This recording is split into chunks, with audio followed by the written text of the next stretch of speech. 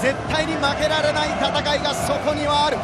14年前 J リーグのお荷物とさえ言われたチームが今 J リーグ史上初となる大偉業に大偉業に挑もうとしております。いざアジア王者へ。さあ福田さん、はい、当たり前だよと言われると思うんですけれども今日レッツチャンピオンいただきます。いただきます。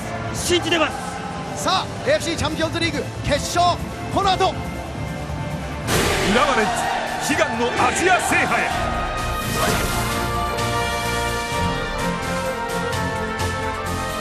日本サッカー史上初の優勝に王手をかけた浦和レッズ。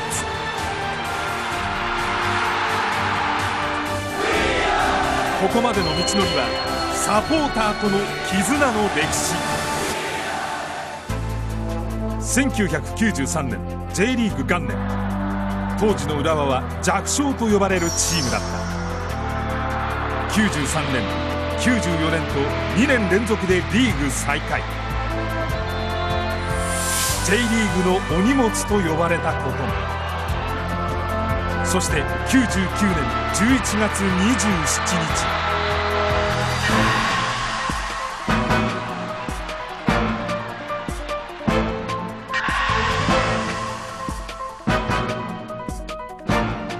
日。しかしそこにあったのは屈辱を味わいながらも選手へ向けたサポーターの声援。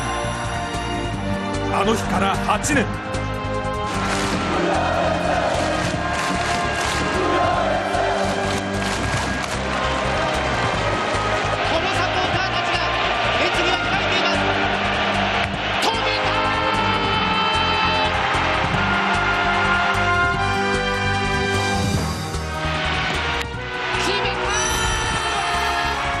共に這い上がってきたサポーターの声援は選手の力となりチームは強くなった。